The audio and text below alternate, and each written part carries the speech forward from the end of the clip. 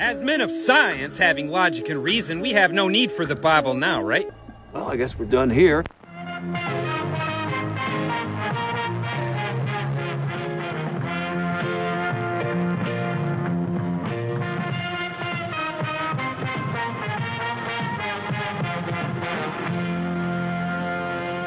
Hey everyone, JL here, and welcome back to Bridge the Divide, where I examine irrational beliefs, the irrational behaviors that follow, and how we, with education, rationality, and reason, can bridge the societal divides that they create. Now, from all of your recent comments and reactions, I know how much all of you love the woo debunking videos. And I promise we will get back to them. I mean, when you hear dangerous idiocy like this being put out into the world. I worked with a medical intuitive, and she said every time she sees someone with Lyme, it's an intergalactic substance, and it's literally bringing in codes from the beginning of time. Lyme is a gift. Yes, yes. It is not for the faint of heart. No. And it is for the most deeply spiritual people Yes. on the planet. Yes. How could I possibly not address it? But for this one, we're going to take a quick break from the woo and address yet another TikTok Christian. And he claims to absolutely have evidence for his God. This is Ryan Bushman Townsend, or as he's better known on TikTok, Dead Hidden. And while I normally like to introduce the subjects of my videos personally, this time I'm gonna let Ryan have that honor, because he does it so much better than I ever could.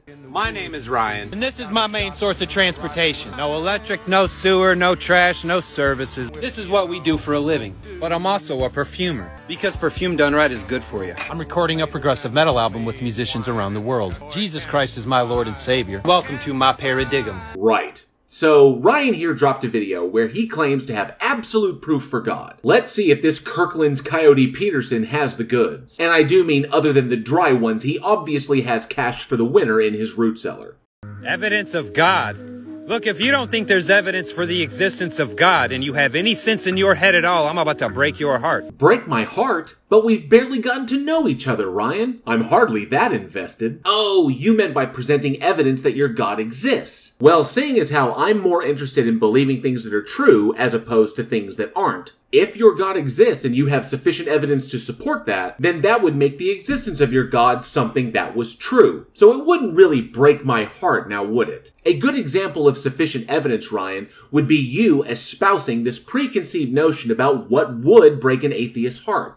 Because you making that claim would be sufficient evidence enough for me to make the claim that you're either being intellectually dishonest about what atheism is, or you don't really understand what it is and what it entails. Either way, you're already working from a dishonest foundation, and I really want to see if that foundation biases the rest of your little presentation. Now I know we've gone through great lengths to discredit the Bible, and rightly so. It's modern times, right? As men of science, having logic and reason, we have no need for the Bible now, right? Well, people have been questioning the Bible for hundreds of years. From the unsupported claims, to the scientific inaccuracies, to the failed prophecies, to the influence that powerful families and political groups have had on the book during its long history of translations and interpretations. Generally, people tend to question the validity of the Bible based upon one simple observation. And that is how a supposed omniscient and eternal entity could get so much wrong about the world it supposedly created, left so much more about the world it created out of the book, failed to see these as the roadblocks they would be in the future, and continued to demand that people commit the worst mistakes in human reasoning to justify a belief in it. Instead of just showing up, laying all the cards on the table, and allowing human beings to make the informed decision about whether or not to worship it. You know, all that stuff that being an eternal omniscient entity would logically preclude. I tell you, like current interest rates, those logical entailments are killer, aren't they? Now, before I get to the material scientific evidence of the existence of God, I want you to consider one thing first. Whoa, whoa, whoa, Mr. Plus One at the Alaska Militia Ball. Why exactly would you need to put a caveat on your evidence? If the evidence is solid, then it shouldn't require any prerequisites to accept it. It would naturally stand on its own merits. You may want to retrace your steps there, Zebco. I fear that you dropped that logic and reason you so carelessly referred to earlier somewhere on the trail. Let's just back up for one second, look at history, before we find out where we are right now, can we please? Well, no, because historical anecdotes are not very good as far as sufficient evidence goes. The worst part of a simple historical anecdote is that even if there was a tremendous amount of effort put into recording the event as it took place, and that record actually survived the centuries to make it to us and was still decipherable, unless those records allow us to verify a claim through replication of a process or directly reference to other archaeological evidence, then they're just anecdotes that should be taken with a grain of salt. Also, it's kind of weird that this poster boy for steep and cheap would need to preface his evidence with anything, especially evidence for God.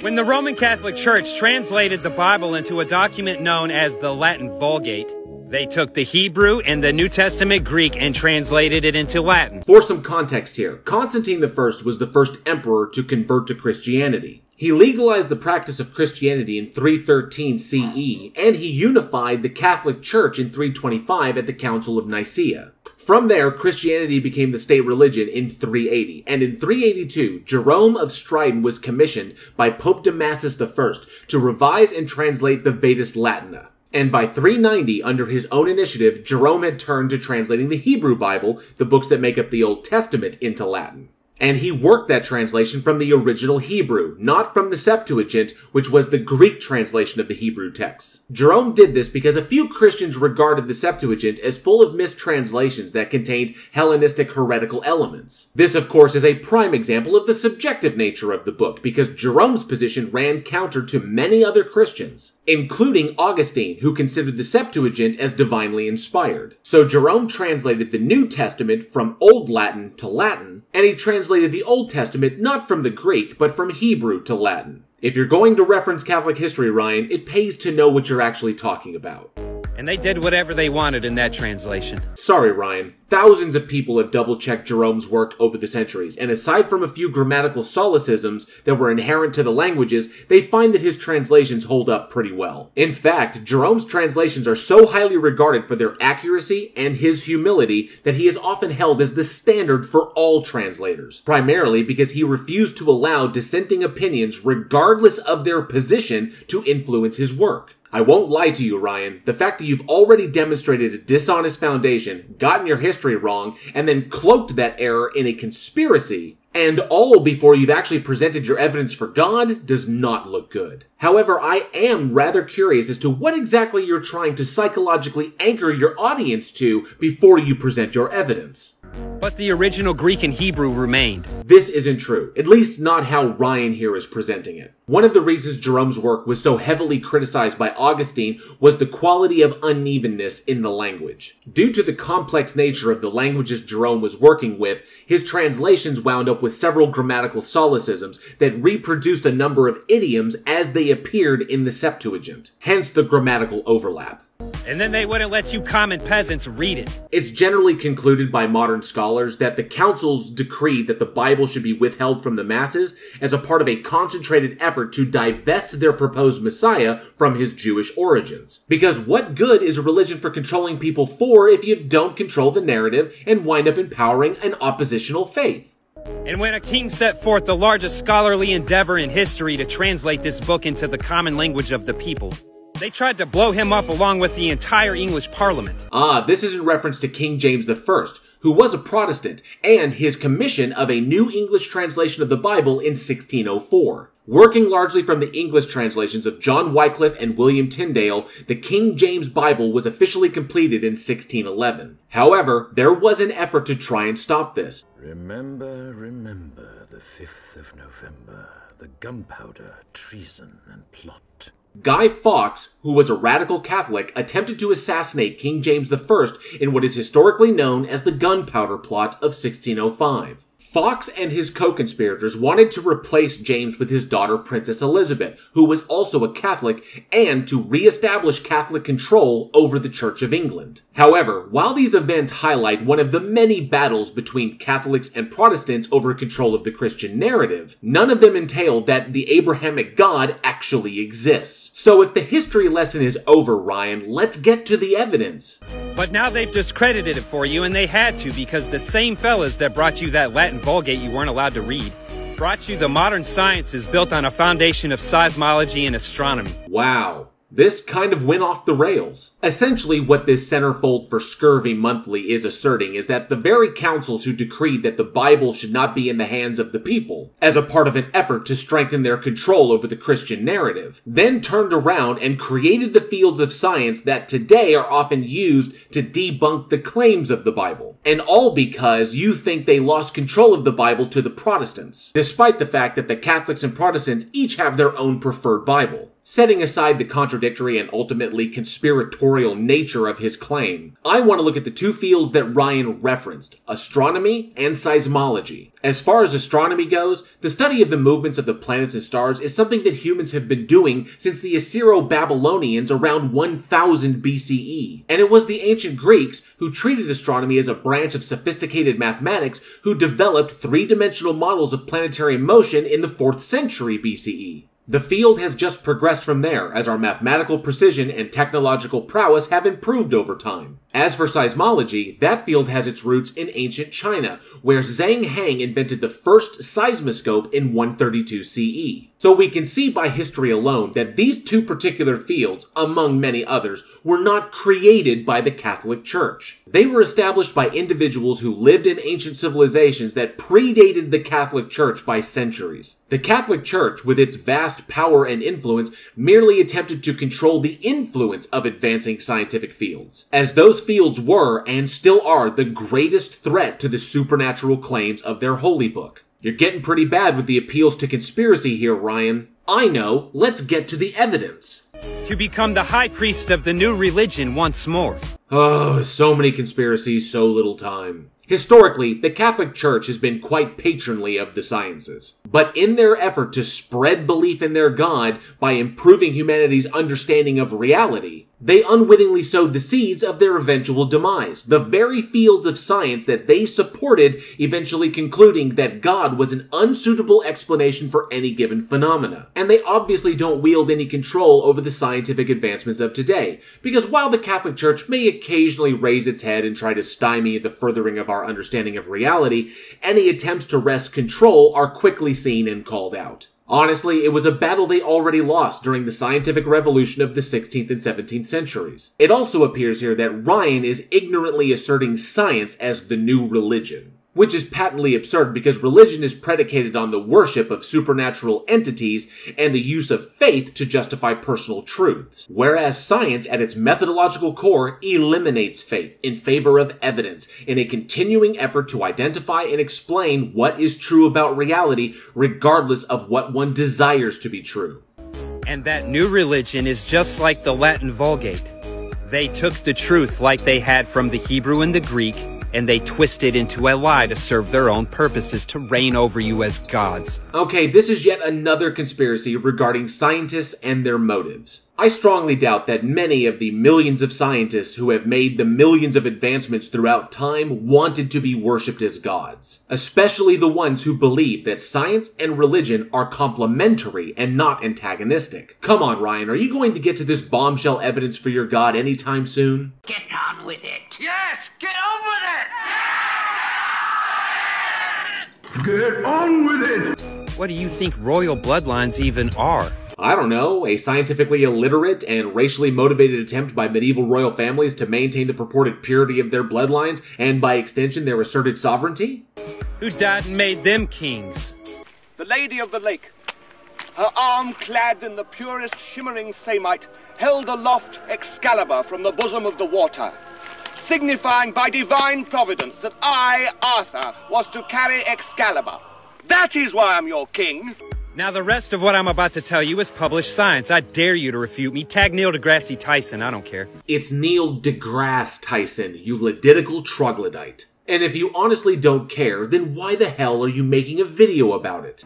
The published science under the new Gnostic doctrine states that every single structure in the universe, whether it be an atom or a cell or a molecule or a man or a bacteria or a galaxy or a solar system, a structure, is the same structure. Small or big, you're just zooming in or out, that's it. They even plotted this on a graph, it's just one structure scaling, there's an equal distance between all of them. Asserting that all published science is somehow entirely dictated by Gnostic doctrines is yet another conspiracy, one that only serves to try and discredit all of science as being inherently biased against Christianity and attempting to obfuscate what is true. Get this through your malnourished head, Ryan. Just because science demonstrates your Bible is incorrect does not entail that science is inherently biased against the Bible. This is nothing more than you starting from the presupposition that the Bible is true and the inerrant Word of God, something you have yet to demonstrate the actual truth of, and then concluding from that assumption that anything that discredits the Bible must possess an inherent bias against it. As for the Gnostic claim, Gnosticism is the belief that human beings carry a piece of God within themselves. And Gnostics are dualists as opposed to Christians who are monists. And while Christians seek to eradicate sin, Gnostics seek to eradicate ignorance. So what I think Ryan is attempting to do here is to prop up all the various fields of science as a sort of neo-Gnostic pantheon, with all of their founders as their new godheads. And I'm a little confused by Ryan's use of the term structure here. Typically, structure is defined as the arrangement of or relations between the parts or elements of something complex. And while all physical objects obviously have structure, they are demonstrably not identical. A bacterium does not have the same structure as a star. It seems to me that Ryan is erroneously using the term structure here when he actually means category. In that of all the various categories of things in the universe, they all possess some form of physical structure. But this being the case does not logically entail the existence of any gods, let alone the Abrahamic God. Dead center between a star and an atom is a man. The absurdity of Ryan's graph assertion is easily demonstrated with basic observations and mathematics. Given the scope and nature of the universe, if you were to plot everything that exists out on a scale from smallest to largest, you would have an object at every possible number, which entails that to assert equivalent size ratios between objects in the universe would require cherry picking of the data to support that claim. For clarity, the average height of Homo sapiens is 1.63 meters. This, however, does not indicate the average size of a human. That is something that would entail the average height-weight ratio of a human. As for atoms, they don't really have a height, unless you're talking the distance from the nucleus to the electron orbit. Atoms are, however, about 100 picometers, or 10 to the negative 10 meters in diameter. However, their atomic weights vary considerably, which means you'd have to cherry pick a particular atom to match the size ratio of a human. And when it comes to stars, Ryan is equally selective, because our sun, which is a yellow dwarf, is not even representative of the average size of stars in the universe. Red dwarf stars are actually the most commonly observed stars, and they are considerably smaller in both size and mass than our own sun. So what Ryan is doing here is cherry picking the data he needs to support his claim, and being deliberately loose with his terminology all so he can apply some sort of predictive numerology to the size scales of the universe. But as we can see, a cursory examination of the evidence quickly reveals his intellectual dishonesty. Now, knowing that every structure in the universe is just the same thing over and over repeated in different sizes, you can include every single discipline of known science to what I'm about to say. Well, Ryan, I've already debunked your dishonest assertion about the size scales in the universe, and I fail to see how that's even applicable to all the fields of science. But maybe this is where he'll finally reveal his evidence. Every known structure of the universe goes through one pattern. Birth, it comes into existence. Growth, it gains information. Entropy, it becomes unstable and begins to lose that information. Death, rebirth, everything does it. I swear, if this boy were any looser with his terminology, he'd get picked up for solicitation. But regardless of how much Ryan poetically conflates his terminology, the cyclical systems that we observe in the universe do not logically entail that a god exists. Spring, summer, winter, fall, even history repeats this pattern every 80 years. That would be the Strauss-Howe generation theory, and despite how interesting it actually is, it has nothing to do with whether or not a god exists. The moon as it waxes and wanes. An egg that hatches a caterpillar that grows and enters the cocoon only to start over as a butterfly. A sperm living and dying to become a baby. A nebula dying to become a star, a star dying to become a black hole. Congratulations, Ryan. You paid attention in elementary school. But I'm curious, will we be arriving at a point anytime soon?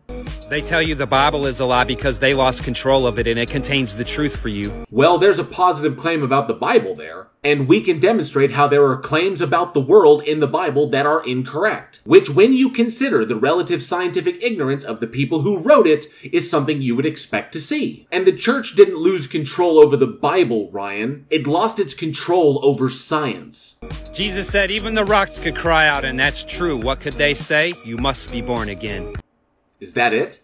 Did you employ all of those emotional appeals just so you could butcher Luke 1940, which isn't even meant to be a literal statement, and then claim it to be evidence for your God? Well, Ryan, I honestly can't say that I'm surprised. Every single argument I've ever heard for a God has thus far boiled down to an argument from incredulity, an argument from ignorance, or an appeal to emotion. And it would seem that the official perfumer of game and fish here is no different. I'd strongly recommend that he make his way back to civilization, maybe have a sandwich, and attend a few courses on, like, you know, everything. Because as it stands, this first to be eliminated alone contestant is not bringing much to the table while he's standing out there in the woods playing with his stamen. Thank you all for watching. I hope you enjoyed the video, and if you did, please like, share, and subscribe, and hit that bell for notifications. And be sure to leave a comment below. I love reading your responses, and those interactions help with the dreaded algorithm. And don't forget, August is Immunization Awareness Month. A link on how you can help these efforts is down in the description. And if you love scary movies, be sure to check out me and my filmmaker friends over at the Week in Horror podcast, now in our third season. Everything you need to become a channel member here, nab yourself some official Bridge the Divide swag,